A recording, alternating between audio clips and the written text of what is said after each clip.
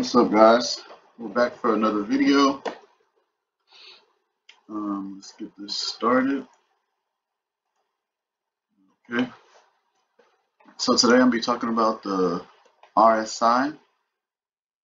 The, um, if you don't know what that is, that's where you can tell if a stock is oversold or overbought. Um, usually when a stock is very high, is it's um, oversold it's overbought and when it's really low it's oversold. But I'm gonna just teach you guys how to actually use it. So this is Apple. Today we're looking at Apple is the last five days of Apple right here. Ignore these lines. They're for something else. Later on um, I'll probably teach you guys about these lines. This is where I thought I would see resistance on Apple and you can see is like resistance right here. And this is where I thought I would see buying right here. And as you can see buying right there. But that'll be a, another day another video. Um, so this is the RSI down here. You have your 30 and 70 level. This is what they give you whenever you go to the RSI this is what they give you but we don't look at the 30 and the 70 we look at the 30 whenever it drops below the 30 to let us know that the stock is oversold. But when it goes back above the 30, we don't necessarily buy right after it goes back up. we wait, make sure you're listening, we wait until it crosses this 40, where this blue line is, that is the 40 level wait for it to cross this 40 level and that is when we start looking to buy. Simulated trades, of course, paper trades. This is not, I'm not telling you to actually trade. This is only paper trade. So it went below this 30, as you can see right here, went below the 30. And right when it crossed this this um, 30 mark right here, people people would have bought. They're like, oh, okay, it's coming from oversold is crossing above 30. Let me buy. They would have bought. Where did it cross it? They would have bought right here. Right? Thinking that it was going to go up after this 30. So they would have bought. It came up a little bit and then it dropped. Then it kept dropping. They're probably like, man, what happened? Oversold, supposed to buy. But what people don't know is you're supposed to wait until it crosses this 40 mark.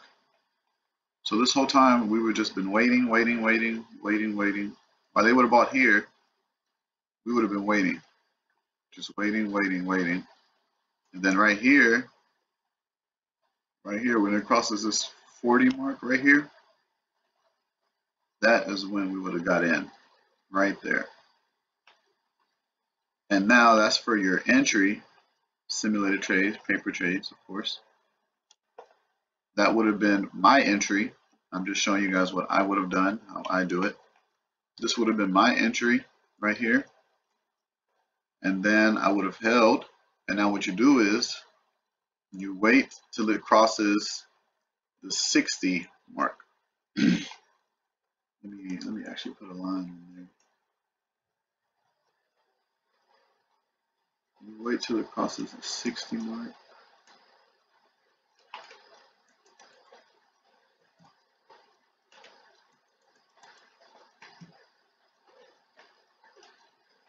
Wait till it crosses the 60 mark right here.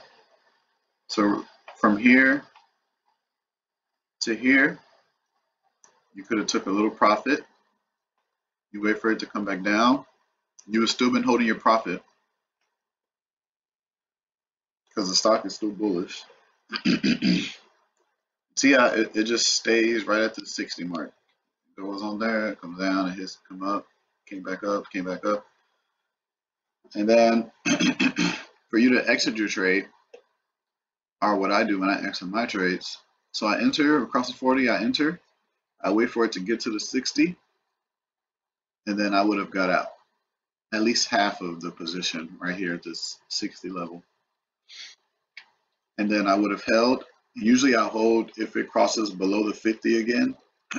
if it crosses below the 50, I usually just get out the position, take my profit, and that'll be it of that. Or sometimes I hold, depending on the callus of the stock, I'll hold. As you can see, it's bullish, so I would have been holding still until it crosses 60 again, like right here, and then I would have took out the rest of my profit because it never went below the 50 mark really, like 49.9. So I was still held. So the lines we look at is 40 and 60. We don't look at the 30 and 70. So let me go to another stock.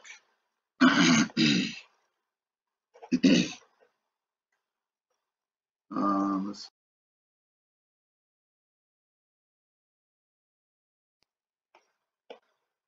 go to the A. Again, just ignore these lines. And so right here, we would have waited, waited, right? We would have waited until it crossed the 40, not 30, crossed the 40. It crossed the 40 right at opening, so we would have bought. So I would have bought. So I would have been holding till it went past the 60. It went past the 60 right here. I would have took out uh, maybe like 30, 40% profit. I would have held. It didn't cross below the 50. Right? It didn't cross below this 50. So I would have been holding. As you can see, it's still bullish. Just holding, holding, holding, holding. And now usually you should have a target of what you want to take out profit on. like from this jump to this, I would have just already took out the whole profit because that's you don't see jumps like that a lot, you know. So I would have took out profit already. but if you would have been holding, you would have been holding to see if you get another pop until like right here, until like right here, because that's when it crossed below the 50 right there. So you would have held right there. So you would have entered here at like 204 and then I would have exited at 218. so that's a good profit between those two, just off the RSI. so just by crossing the 40 up to the 60.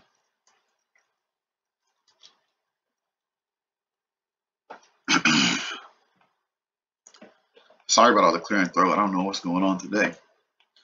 But um, yeah, so cross the 40, entered, round, I would have 204, and then I would have exit at 218. This for BA. Always the 40 and 60 levels. Let's go to another star.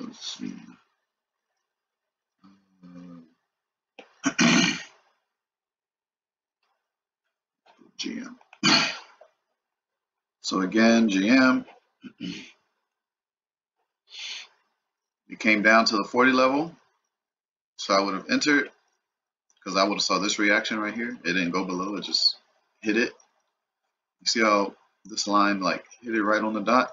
That's why we look at the 40 levels. Uh, make sure you guys like the video, comment below what you think of the video, share it with your friends, because this, this, is how you use the RSI, or just how I use it. so So I hit this 40 level, would have went up, I would have entered right there.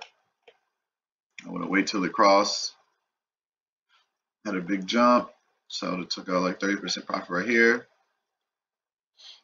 Stayed above the 50 level, which is right here. So I would have held.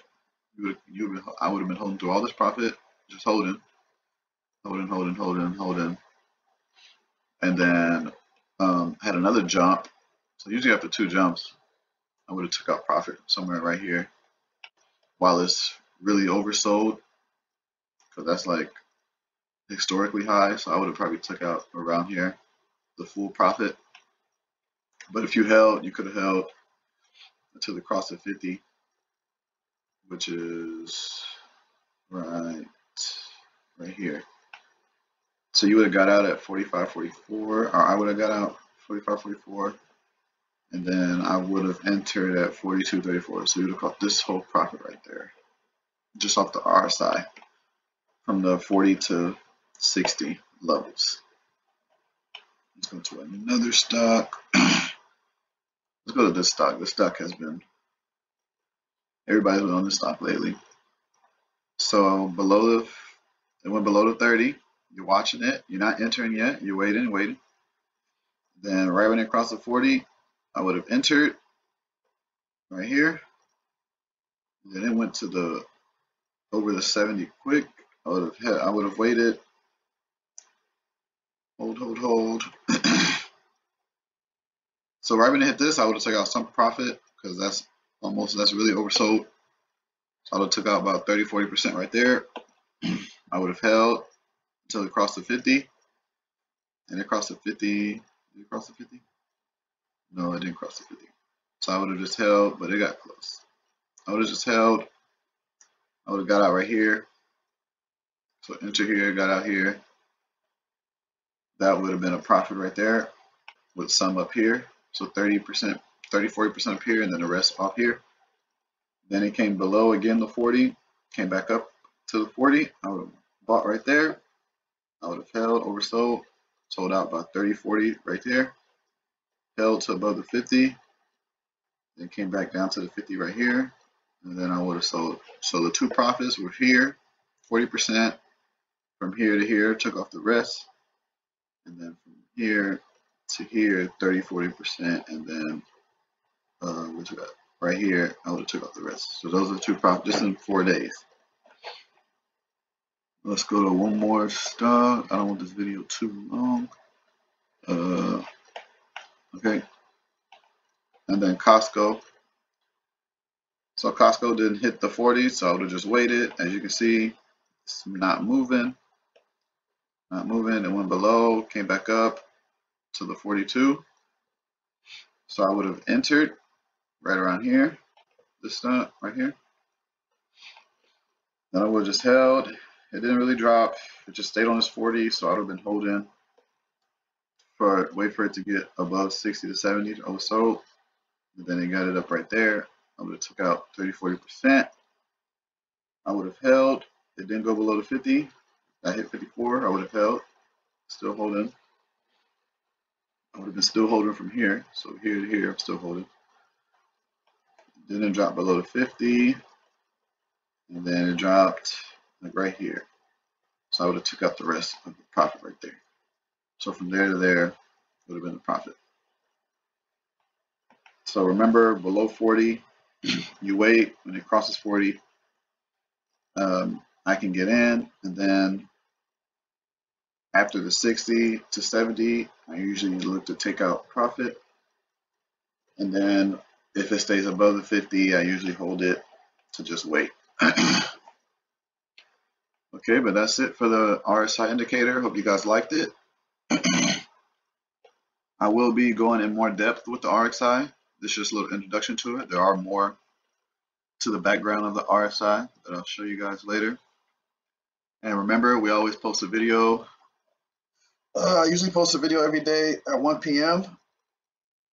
So make sure you guys look out for that. Make sure you like, subscribe, comment below. And I'll see you guys tomorrow for another video. Peace out.